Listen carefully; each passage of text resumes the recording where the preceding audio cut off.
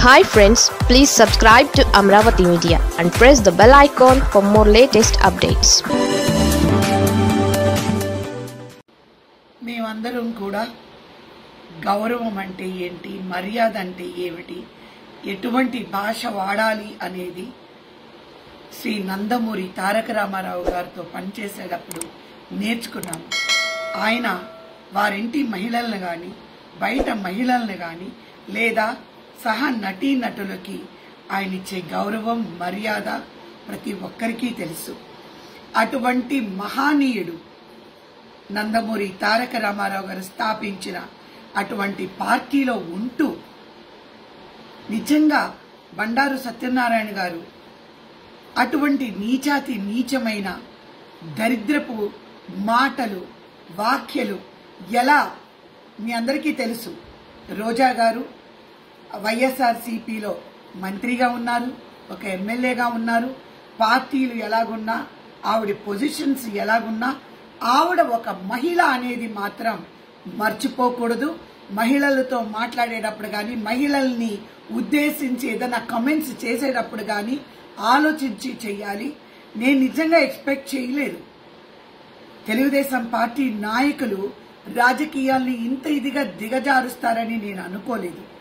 రాజకీయాలకి మహిళలు రావడానికే భయపడే ఈ తరుణంలో ఇంకా ఇంకా ఇటువంటి వా వాక్యాలన్నీ విని ఇటువంటి మాటలన్నీ విని పార్టీలలోకి రాజకీయాలలోకి మహిళలు రావడానికి ఇంకా ఇది భయభ్రాంతుల్ని చేసే ఒక చర్య అనేది నేను చెప్పగలను.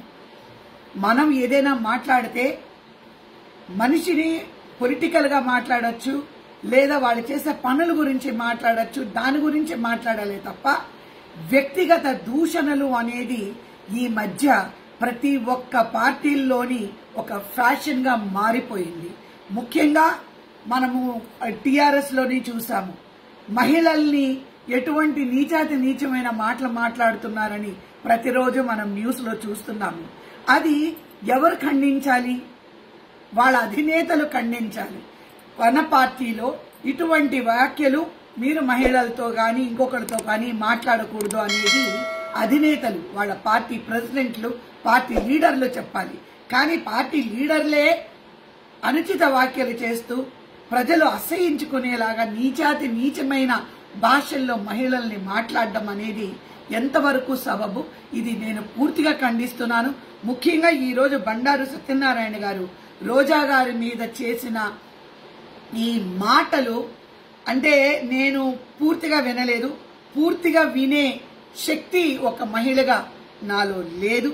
ఆయన మాట్లాడిన ఆ ఉన్న రెండు మూడు మాటలు విన్న తర్వాత నేను ఛానల్ మార్చే పరిస్థితి వచ్చింది. వినలేని పరిస్థితి అది. అంటే ఆ తర్వాత ఆయన తప్పకుండా విన్నాను. చాలామంది అన్నారు అవి మనం మాట్లాడలేని మాటలు వినలేని మాటలు ఆయన మీడియా ముందు కూర్చొని మాట్లాడడం అది అసలు ఏమనుకుంటున్నారో వాళ్ళ ఇంట్లో కూడా ఒక మహిళలు ఉంటారు వాళ్ళ ఇంట్లో కూడా ఆడవాళ్ళు ఉంటారు.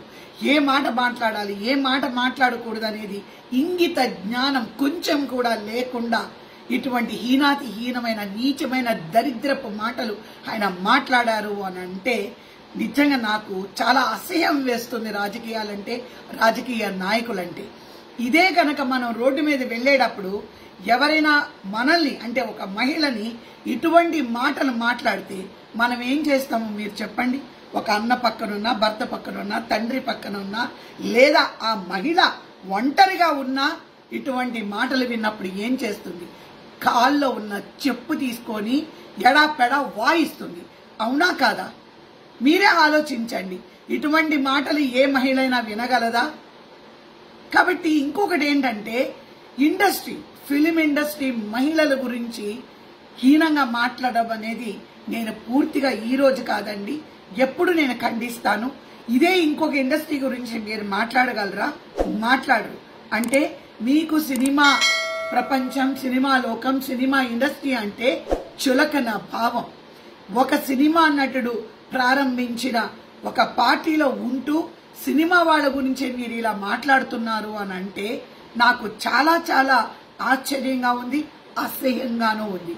ఈ రోజు నేను రోజా గారి మీద అన్న ఈ మాటలు హండ్రెడ్ పర్సెంట్ నేను ఒక మహిళగా ఖండిస్తున్నాను. ఇది డెఫినెట్గా ఆయనకి పనిష్మెంట్ బై లా ఆయన్ని పనిష్ చేయాలని కూడా నేను కోరుకుంటున్నాను. ఇంకొకటి ఏంటి అనంటే ఈరోజు నారా బ్రహ్మణి గారు అలాగే భువనేశ్వరి గారు వచ్చి బయట మాట్లాడుతున్నారు. తప్పకుండా. ఎందుకంటే ఒక మహానీయుడి కడుపులో పుట్టిన బిడ్డ ఆవిడ ఆ కడుపున పుట్టిన ఒక మనవరాలు ఆవిడ తప్పకుండా వాళ్ళిద్దరూ ఒక మహిళలుగా వాళ్ళ ఎమ్మెల్యే అయినా కూడా తప్పకుండా ఈ మాటల్ని వాళ్ళిద్దరు కూడా ఖండిస్తారని నేను ఆశిస్తున్నాను ఖండించాలని కూడా నేను కోరుకుంటున్నాను. Thank you